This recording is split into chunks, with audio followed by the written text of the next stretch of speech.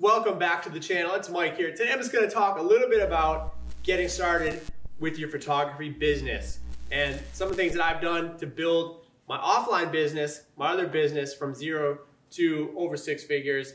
And I'm just going to talk about that a little bit. And you can also apply this to photography. This is what I'm doing now. Just basically using my passion, interest, something that I just figured out that I really like to do. And now I want to start a business with that new hobby and just something that I just like and why not use it to make money, use it as a business, use it to improve your lifestyle. So I made a podcast about this too, uh, which is the No Boss Podcast. You can find on Spotify. I'll leave that link down below. But just a few tips on getting started with your photography business. First thing you wanna do, most important is you wanna be good at the skill that you have.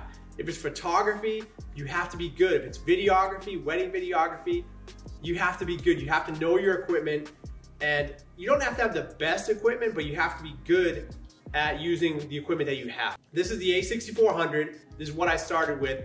I shot two weddings and it's a good camera. I mean, it's not, doesn't have to be perfect. I have the 16 millimeter Sigma on here and that's enough to just get started, but you wanna become good at the equipment. I use Adobe Premiere to edit my videos. So you have to be, you know, just proficient at the tools that you have right now. And then you can upgrade. I'm filming on the A7 III, I upgraded to that, but I still like the A64. So the first thing, get good at the equipment that you have.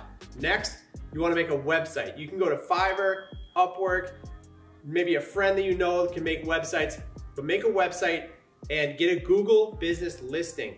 When you have the website, the Google business listing, now you're on Google Maps, now you're ranking, you can get reviews, and your search engine optimization will go up. Once you have your website, now from there, have a Facebook, Instagram, YouTube, TikTok. It depends on what your business model is going to be. Service-based and you can go anywhere, you know, travel places, then yeah, do YouTube, Instagram, TikTok, because you're gonna target people from all over. My offline business, I target people pretty much just around where I live. So it's a little bit different strategy, but it's still, I mean, it's very similar, but it's a little bit just adjusted to more to my community, the keywords and towns in my community. If you're just using your passion, using your interest for photography and trying to build photography, you can travel where you want. You can sell presets, you can sell, you know, like editing courses, video courses. So you can do things like that. So you can target people from all over the world pretty much. You have your website, your Instagram, YouTube, TikTok, all the social media platforms, Facebook. Now from there, you can start running Facebook ads. For me, I use Angie's List, I use Yelp, I use Thumbtack. For videography, photography, you can use Thumbtack. I'm using it right now for my photography business. So I am using Thumbtack, um, Angie's List and Yelp. You can probably use those too, maybe more Yelp than Angie's List, but use all those that you can, especially focus on the free the free tools when you're just getting started. So we have a free listing for Yelp, a free listing for uh, Google and you know anything that was gonna get people to know that you exist. You have all the social media set up, now get out in your community, let people know that, hey, I'm a photographer, do you need anything done? Do you need a wedding? Do you need an event? Stop in, it, go to places like restaurants and just go in there cold and ask if you can run their Instagram, ask if you can take photos for their, maybe run their TikTok, stop into these places, these businesses, and say, hey, can I take some photos for you? Hey, can I, is there an event that you're doing? Is there something that I can do for you as a photographer? And then once you start doing that, now you're getting in front of people. Now someone will see your work and say, hey, that was really good. Can you do that for me too? First get started in photography or in any business where it's a service-based business, just start doing work for people. As a friend, family, just let them know, hey, I'm a photographer. I can do work for you. I can do video, photography, and then start doing work for them and then posting it.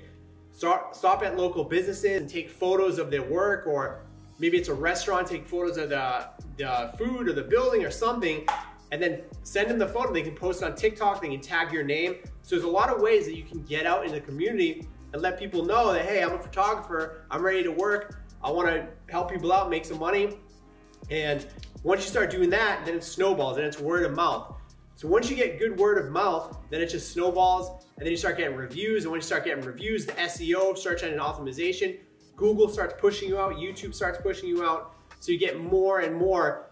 But when you first start in photography business, you have to put in a lot of work to get the ball rolling. And once it's rolling, once it's snowballing, then you're just gonna get more work coming in And from there, you're gonna do something you're very passionate about, have a business, and escape the nine to five. That's what it's all about, is being more free, making more money, escaping the nine to five, and just living the life that you want and living the life of your passions, things you wanna do.